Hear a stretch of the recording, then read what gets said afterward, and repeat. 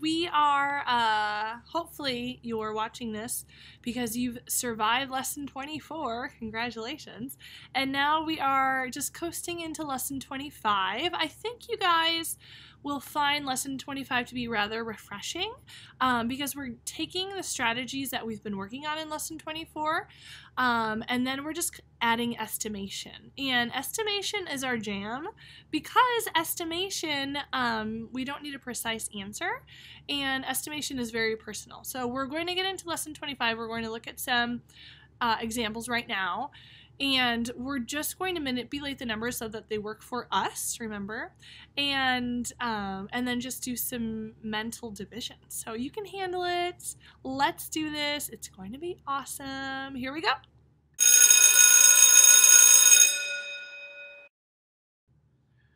without further ado we are going to um, handle 25 like a bunch of bosses. Okay, so lesson 25. Um, we is tomorrow Friday? Wow, tomorrow's Friday.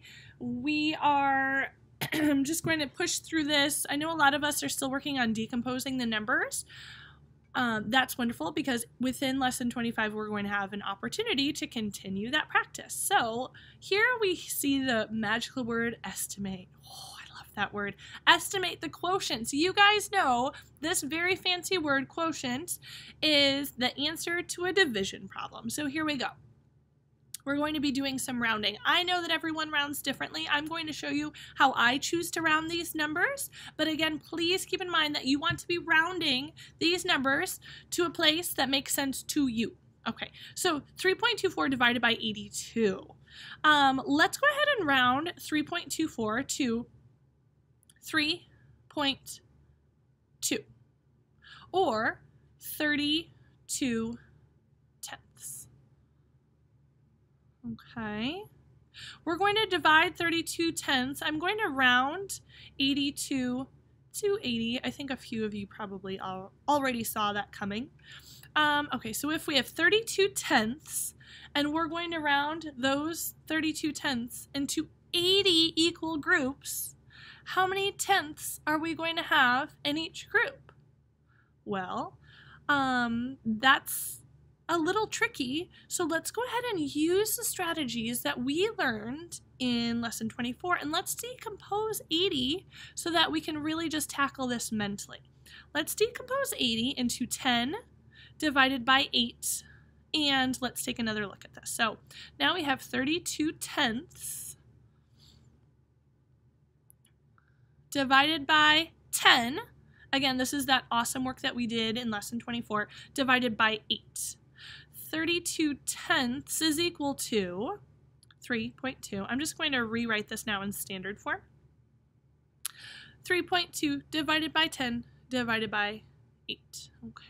So let's do this first. What is 3.2 divided by 10? 3.2 is going to shift one place value to the right because there's 1, 0, and 10. When we shift 3.2 one place value to the right, Louis, what number do we end up with? Thank you, sir. 0.32 or 32 hundredths.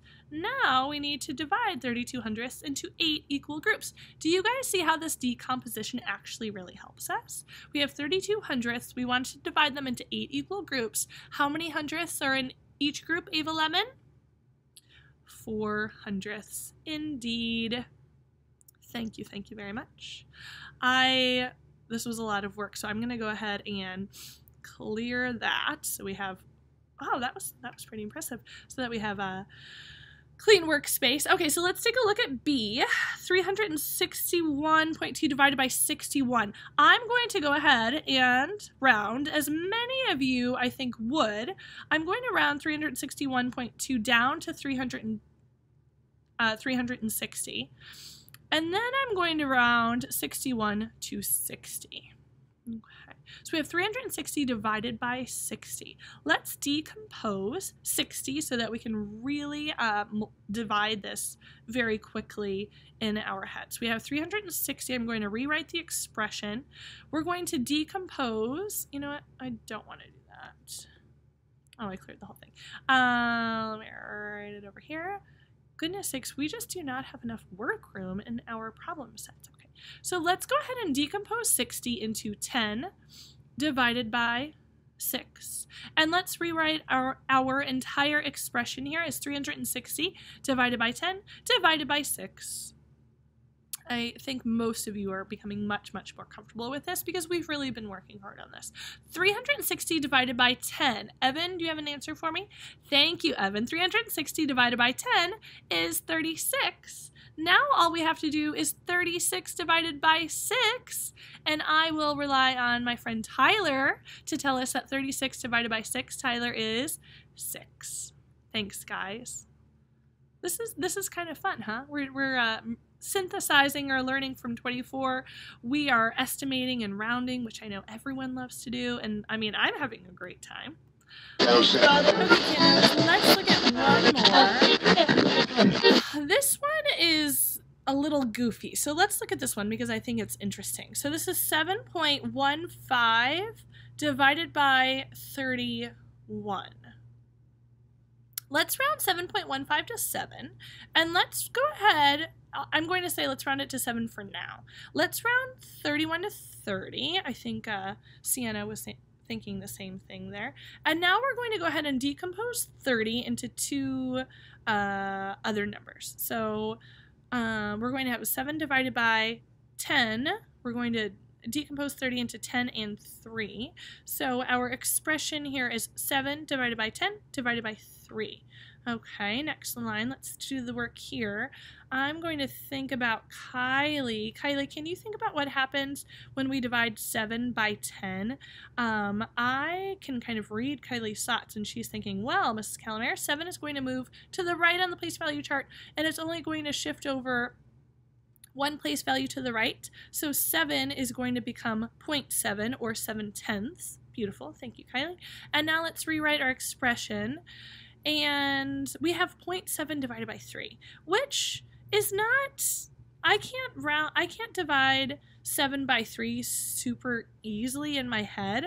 So since we're using estimation, I'm going to go ahead and round 0.7 to 0.6. Why would I do that, Christopher? Well, Mrs. Calamaras, this is my Christopher voice. Well, Mrs. Calamaras, you would round 0.7 to 0.6 because 0.6 or 6 tenths is much more easily divisible by 3. And to that, Christopher, I thank you and agree. Couldn't agree with you more. Um, Tracy, 6 tenths divided into 3 equal groups. How many tenths do we have in each group? Well, Tracy, thank you. 2. We have 2 tenths in each group. I rounded and then I rounded again, and that's okay because we're estimating. Life is good. Um, I think we're just probably gonna wrap it up there. Uh, actually, no. I'm gonna let's do one more word problem because this is so much fun.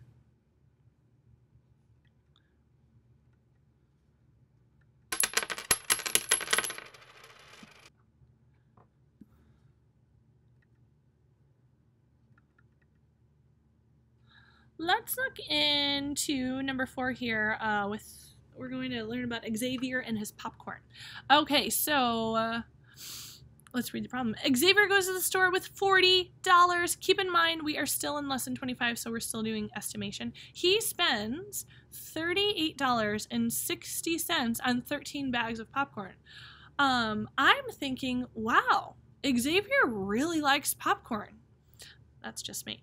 Um, okay, so popcorn enthusiast, cool. Now, what what do we need to know? How much does one bag of I'm sorry, about how much does one bag of popcorn cost? So I love this word about because this is like the gray area, right? It's about. Okay, so let's think about about how much does one bag of popcorn cost?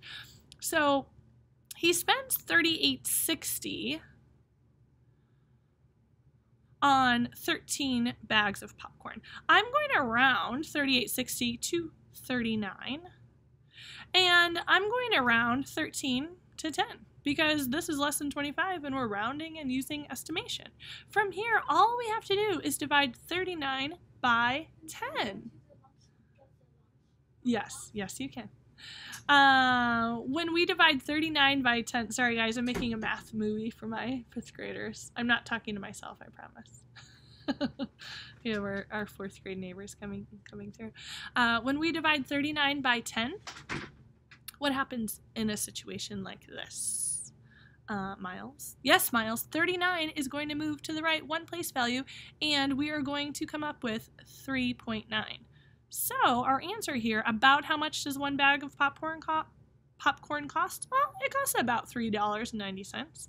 Our next question says Does he have enough money for another bag?